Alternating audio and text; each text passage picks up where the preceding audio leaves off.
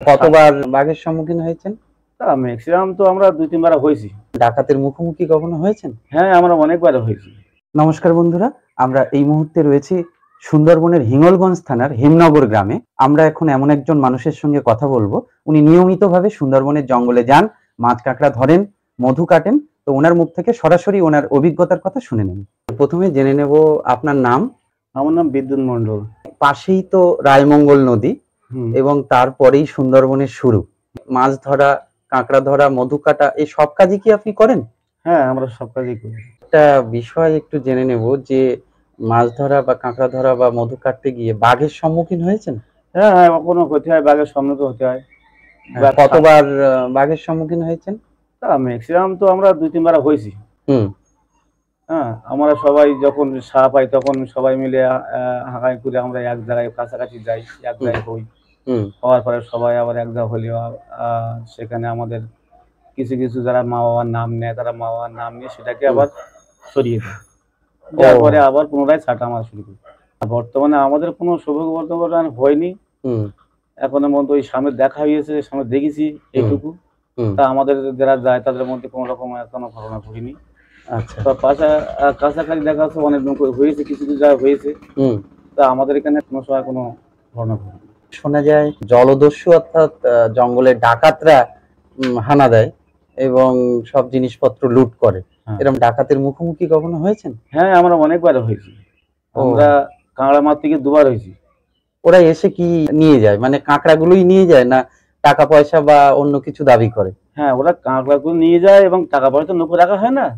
দেখা যাচ্ছে অনেকে কাঁকড়া নিয়ে যায় অনেকে দেখা যাচ্ছে নৌকো কিছু কিছু জিনিস সরঞ্জাম ওরা তুলে নিয়ে যায়। এবং ওরা প্রথমে এসেই তো আমাদের উপরে অ্যাটাক করে। হুম। করলে করার পরে আমরা তো আমাদের কোনো কথা বলার জায়গা থাকে না। লাঠি সব নিয়ে আসে লোকে মেলা থাকে। হুম। আমরা কিছু করতে আমরা বলতে পারি না। হুম। যেহেতু আমাদের কাছ থেকে ওইভাবে সংগ্রহ করে নিয়ে যায়।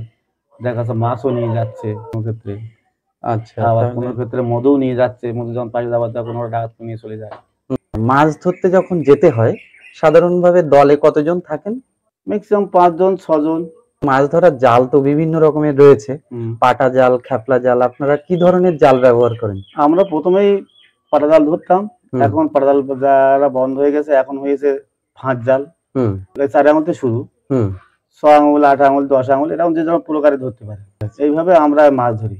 পাটা জালে যেমন নিচে নামতে হ্যাঁ, হয় হ্যাঁ, তো এই ফাঁস জালের ক্ষেত্রে নিচে নামার দরকার হয় হ্যাঁ। না? না না না। ফাঁস জালে অনলি নৌকো থেকে সব কাজ চলে।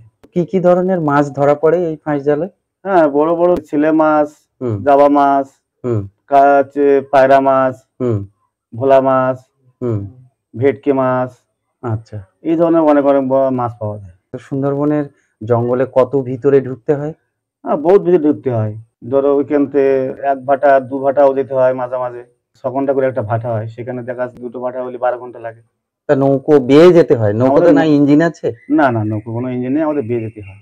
যত ভিতরে যান তত মাছ একটু বেশি পাওয়া যায়। হ্যাঁ যত দূরে যাওয়া যায় তত মাছটা ভালো পাওয়া যায়। বাইরে বড় নদী আছে তো সেখান থেকে সাগরের কাছাকাছি ধরো নদীগুলো পাওয়া যায় আমরা সেইখান থেকে জাল দিয়ে সেভাবে মাছ সংগ্রহ করি। মাছের পাশাপাশি কাঁকড়াও ধরতে যান মাঝে মাঝে হ্যাঁ কাঁকড়াও ধরতে মাঝে মাঝে বছরে আবার কিছু কাঁকড়া মারি। হুম।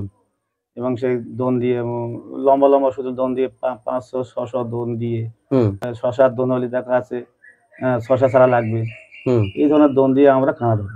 তো কাঁকড়াটা শুনেছি একটু সরু খালে বেশি পাওয়া যায়। সব জায়গাতে পাওয়া যায় তবে সরু খালে বেশি পাওয়া যায় আমরা দোন পাইতে পাইতে সরু খালে সুড়ি ফুল ঢুকে পড়ি। আচ্ছা। আর যতদিন নৌকো চলে ততদিন আমরা চলে যাই। যত সময় নৌকো না বাঁধবে তত সময় আমরা সমান চালিয়ে যাব। আচ্ছা আচ্ছা। এই কাঁকড়া নৌকোতে সাধারণত কতজন থাকে? এমনি ন্যূনতম ধরো তিনজন করে কমন থাকে তো অনেকে যায় চারজনও যায়। হুম। অনেকে দেখা যাচ্ছে দুজনও যায় তিনজন তো অটোমেটিক থাকে। আপনি কি মধু কাটতে যান? হ্যাঁ যাই। মধু কাটার কাজটা তো একটু বেশি ঝুঁকি। হুম হুম। কারণ জঙ্গলের ভিতর দিয়ে মৌচাকগুলো খুঁজতে হয়। হ্যাঁ হ্যাঁ। তো একসঙ্গে এক দলে কতজন থাকেন? হ্যাঁ ওটা এক দলে আটজন দশজন ছজন। সাতজন এরকমই থাকা হয়। একদিনে মোটামুটি কতগুলো চাক খুঁজে পান? ম্যাক্সিমাম তো ধরো কুড়িটা পঁচিশটা কখনো দশটা ও ঠিক বলা যায় না। কখন কোন জায়গায় কীরকম মধু পাবো। সব জায়গাতে ঘুরতে যেখানে কম পাবো সেখানে আর ছাড়া না মেরে অন্য জায়গায় গিয়ে আবার যেতে হবে সেখানে দেখা যাচ্ছে। একটু বেশি পাওয়া যাবে সেখানে থাকলাম সেখানে আচ্ছা আচ্ছা। কোনটা বেশি লাভজনক মানে মাছ কাঁকড়া না মধুতে? মানে উপার্জন কোনটাতে বেশি হয়? এখন বর্তমানে কাঁকড়া তো ওজন বেশি আছে তারপর মাছ মধুতে এমনকি একটা সিজন তো হুম। এমন কিছু হয় না। ও মধু একটা সিজনে হয়? একটা ওটা কি মাসে হয়? ওদের চৈত্রে শুরু হয় চৈত্রে শেষের দিকে শুরু হয়। আচ্ছা। বৈশাখ মাসটা আদা দিয়ে চলে যায়। মানে গরমের সময়টা মধু পাওয়া যায়। চৈত্র মাস। আপনার বাড়ি এই হেমনগর গ্রামে? হ্যাঁ আমাদের হেমনগর গ্রামে বাড়ি। পরিবারে কতজন সদস্য আছেন? আমাদের পরিবারে বর্তমান চারজন সদস্য আছে। আচ্ছা পুরো রোজগারটাই জঙ্গল থেকেই আসে? হ্যাঁ আমাদের পুরো রোজগার জঙ্গল থেকে আসে। চাষের জমি রয়েছে? ওই অল্প কিছু বিঘানিক থাকে। আচ্ছা। বড় জায়গা কিছু দু দশ কাটা আছে। চাষবাস নিজেরা করেন না হ্যাঁ, আমরা আমরা চাষবাস নিজেরাই করি। অল্প স্বল্প জমি জায়গা আমরা তো বেশি জায়গা জমি জায়গা মানুষ না যে আমরা তাই জমির উপর নির্ভর করব আমরা।